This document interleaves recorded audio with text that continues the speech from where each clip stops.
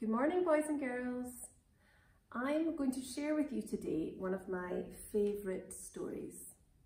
It's called Beautiful Oops and it's by Barney Saltzberg and it's a great story all about mistakes because boys and girls everybody makes mistakes. All grown-ups everybody makes mistakes but the most important thing is what you do with them. So this is a book all about mistakes in arts and how you can turn them into something fantastic. I hope you enjoy it. Beautiful Oops by Barney Saltzberg.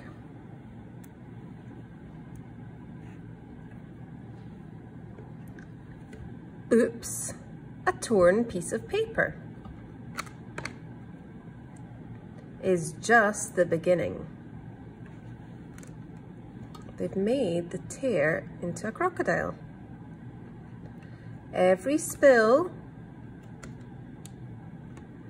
has lots of possibilities. They've made that spill into an elephant.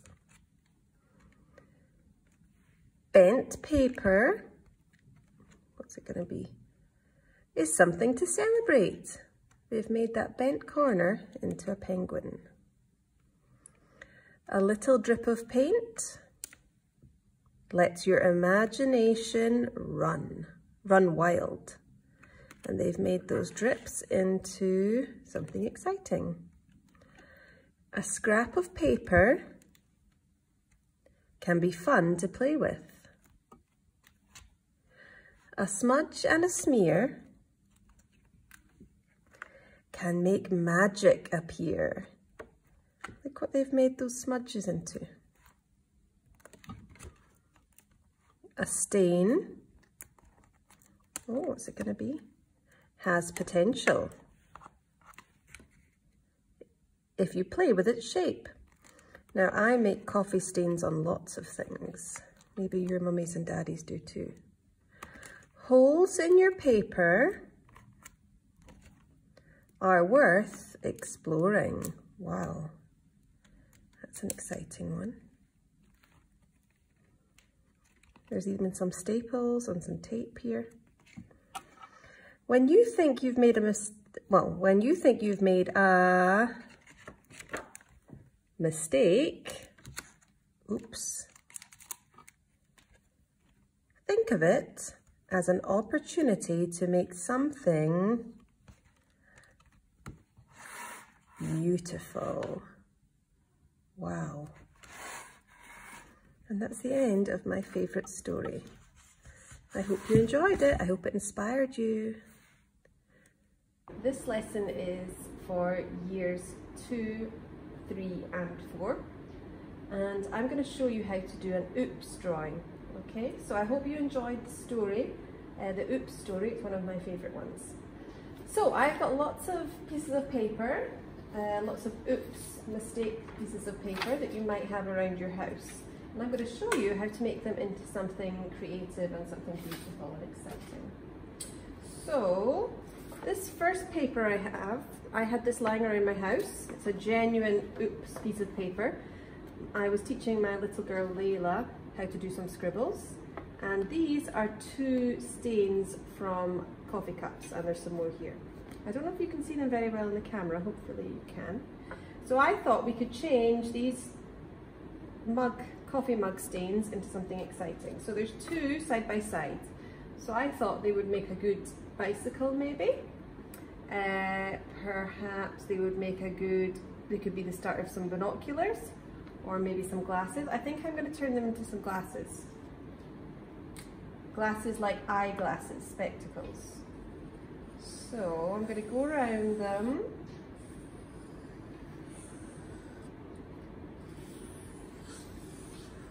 Okay.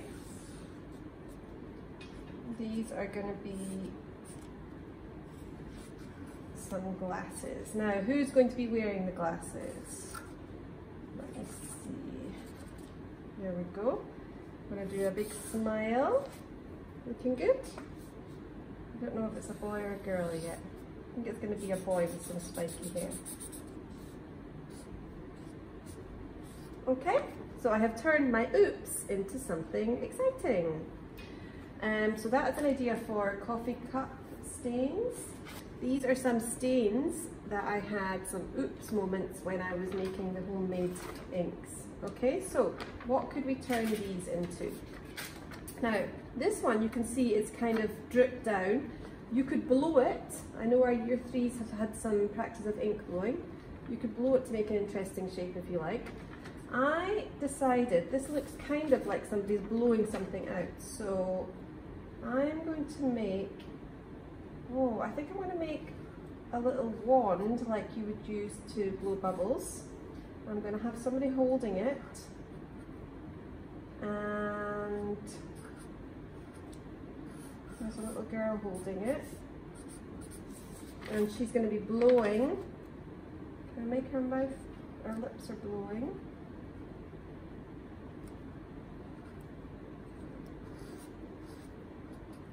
Okay, and it's like she's blowing this through the hoop. Kind of like she's blowing bubbles. Just an idea. I'm just thinking as I go, boys and girls.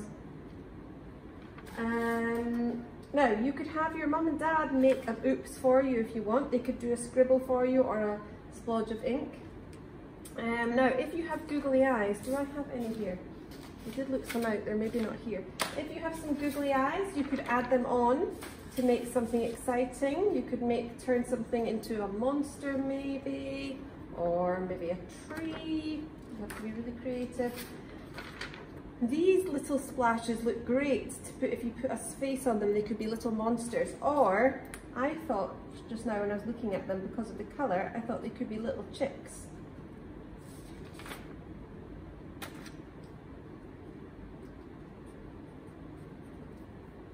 Some little wings on it as well. What do you think? Well, this one could be a little flying chick.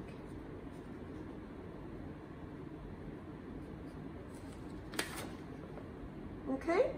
Now you do have to be creative boys and girls, you have to use your imagination. You can use old bits of paper. The idea is you can be creative with anything. Now, if you don't have anything lying around, ask your mum or dad or nanny or whoever's at home to make an oops for you. Okay, so I'm just going to do a quick scribble. Um, okay, a scribble. I'm going to do another one and I'll use different colour.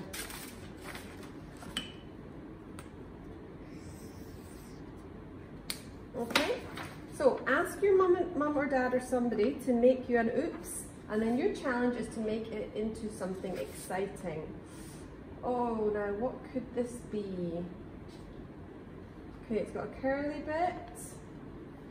The curly bits I thought could look a bit like a wave in the ocean or maybe a snail's shell, or maybe a cat's curly tail. Most children in our school know that I love cats. I have two cats. Actually, how about these could be the cat's ears.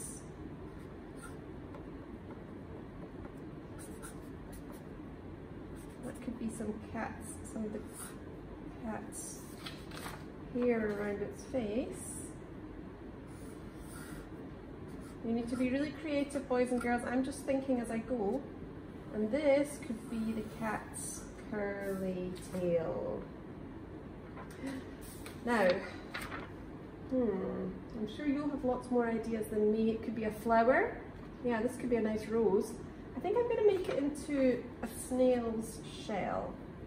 So if this is the shell of the snail, I'm going to have this bit for the snail's body poking out of the shell.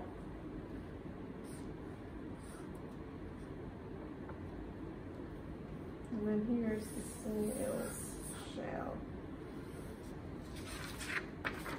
Okay, it's not perfect, but I'm being creative, I'm problem solving, and you can do the same. Well, I can't wait to see your oops drawings, boys and girls. Be creative with, with, whatever you can find. You can use more than these resources. You can use whatever you've got at home. You could make it into a collage.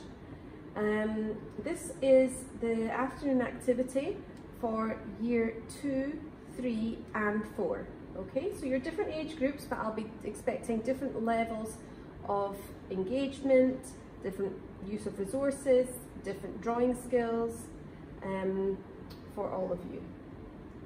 Okay, I can't wait to see. Please upload them as soon as you finish them.